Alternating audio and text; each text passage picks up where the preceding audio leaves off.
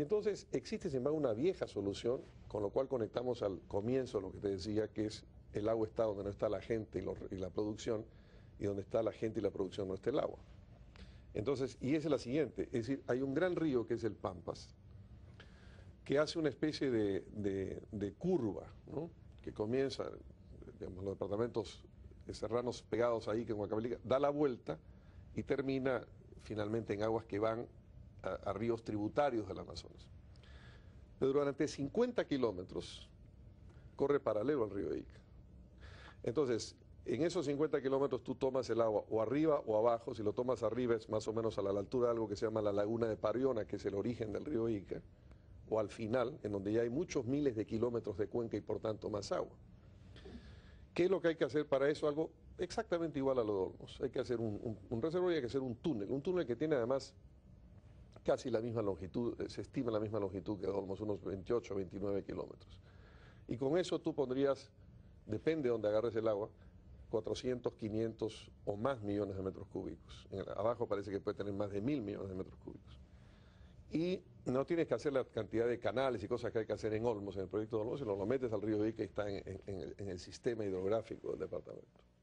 Y con eso yo decía, Sutton soñó con que la costa fuese California. Bueno, Ica puede ser California. ¿Qué es lo que pasa con estas cosas? ¿Por qué no se hacen? Porque hoy día los costos de hacer eso, yo le preguntaba a un, a empresario minero, y, le decía, bueno, ¿cuánto cuesta hacer ese túnel? Bueno, 120 millones, 100 millones. O sea, cuando uno suma lo que cuestan esas obras y lo divide entre el número de hectáreas que primero vas a regularizar el río, pero las nuevas hectáreas que puedas crecer, es decir, entre Ica, Palpa y Nazca, las, las, pampas intermedias de muy buena tierra, con acceso a puertos, tú vas a poder irrigar, tú vas a tener un, área, 60, eh, un área que va depende de cuántas, cuántas pampas adicionales riegues, puede ir hasta 150 mil hectáreas, 140 mil hectáreas, en, algunas dicen 180 mil, sí, sí, solamente el, Valle de Ica tiene los 45 más los 20 de Villacurí son 65, 63 y son 18 mil, ese, es, ese es el rango, ya, ya sembradas. Eh, Palpa es un pequeño valle, Nazca también es un valle pequeño de unas 10 mil hectáreas con poca agua, extraordinario clima, muy buena tierra, poca agua, pero tienes una serie de pampas circundantes, intermedias y circundantes, la suma de eso te da una enorme área. Pero tienes que hacer obras de canalización. No, por supuesto, tienes que hacer... Tienes o que si no, de infiltración. No, no, tienes que hacer primero un reservorio, tienes que hacer el túnel para conectarlos y luego los tramos intermedios tienes que hacer los canales. Pero cuando uno dice, bueno, vamos a hacer el cálculo del lechero, el cálculo del 2 más 2, cuánto cuestan esas obras, cuánto se estiman esas obras y vamos a dividirlo entre el número de hectáreas que se pueden regar y el impacto, y, decir, bueno, vamos a financiar esto en, en 20 años. Entonces, pero ese es uno de los problemas de siempre, ¿no? Porque ahora hay, el problema de Olmos es ese, la, propuesta esta de iniciativa privada, según dice el Ministerio de Economía, pues no está pagando el trasvase, la obra del trasvase, por eso están proponiendo otra fórmula que sea más, menos onerosa para el Estado.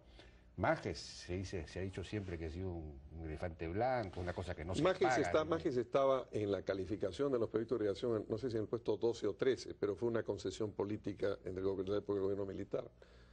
Eh, ahora, ¿qué, ¿por qué, por qué los, los, tiempos han cambiado, Jaime? Estos son viejos sueños de principios del siglo XX mm. y aún antes. Entonces, ¿por qué han cambiado? Primero, porque cuando empezaron a estudiarse estas cosas, ¿qué se sembraba en Icalgodón? Cuánto, cuánto se producía por hectárea. Pero hoy día se produce uva reclop, se produce, eh, eh, bueno, por supuesto espárragos, se producen cítricos, el valor por hectárea es muy alto. Y luego, como los geólogos saben eso mejor que nosotros, la tecnología y el costo de túneles eh, ha, cambiado mucho, hay una enorme eficiencia en esto. Pero en tercer lugar, hoy hay dinero que no había antes.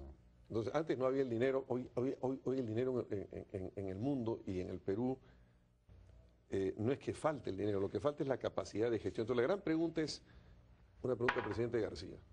Presidente García, usted no fue, su gobierno no fue competente para resolver el tema del, para resolver el tema del, terremoto en Pisco. Una enorme ineficiencia. Recién empiezan a inaugurar algunos hospitales. compensa el departamento de ICA con algo. Compense con esta obra. En segundo lugar, ¿por qué todas las irrigaciones tienen que estar en el norte y abandonarse al sur? Porque Ica es un departamento eh, costeño, tiene poca sierra. Muy interesante, Jaime, es un departamento con con muy poca pobreza extrema. ya cero, me parece. 0.3 según, según, el INEI, con muy bajo analfabetismo, pero es un departamento que es la salida de departamentos serranos como Huancavelica, Ayacucho, y está conectado, por tanto, a una zona del Perú andino muy importante. En consecuencia, este es un proyecto que tendría un impacto no solamente económico, sino un impacto social. Lo que pasa en el Perú, y con esto termino, es que nadie hace las cosas. No las hace el gobierno central, que está paralizado por unos burócratas del Ministerio de Economía siempre, en el SNIP y, aledaños. No los hacen los gobiernos regionales, a los que hoy día les sobra la plata, con, con canon, ICA también tiene canon eh, y, los grandes agricultores, nadie se mueve. Cuando empieza a faltarles agua, se van a Olmos, se van a Piura, ¿no? Sí, pues de eso precisamente quería hablarte, porque la, en ICA el problema es, hay una primera solución que es hacer obras para infiltrar el agua, el agua que viene del río Ica. El río Ica bota el agua cuando viene con crecida, bota el agua al mar. todos los ríos del Perú. Sí, pues, entonces, eh, eh, pero ahí hay un montón de agricultores que podrían ponerse de acuerdo con el gobierno regional. No hay ninguna capacidad de gestión. Hay la idea de traer las aguas de la laguna de Choclocoche. No, la laguna, de, Choclocoche es un viejo proyecto existente hace medio siglo que ha alimentado al río Ica, pero que es, eh, probablemente un, eh, déjame sacar 8 o 10% de los millones de metros cúbicos que estamos hablando. Pero eso, eso está hace mucho tiempo funcionando. Pero, por ejemplo, no se, no se limpia la chirana, que es ese, pues. ese, brazo histórico de, de y ese es un poco, un poco lo que cuando uno va ahí que uno se sorprende. Uno dice, bueno, voy a una reunión de la Junta de Regantes, me invitaron el otro día y fui. No hay ningún gran agricultor exportador ahí. Entonces, em, falta esa coordinación fundamental, falta primero una visión estratégica y en segundo lugar falta un liderazgo político. El gran problema hoy día en el Perú es, la falta de ese liderazgo político. Yo espero, sin embargo, que el proceso de regionalización termine produciendo esos líderes. Yo creo que ahí está pasando algo muy interesante. Y, pero en este momento ese tipo de proyectos duerme el sueño de los justos. Bueno, vamos a ir a una pausa y regresamos con ese tema.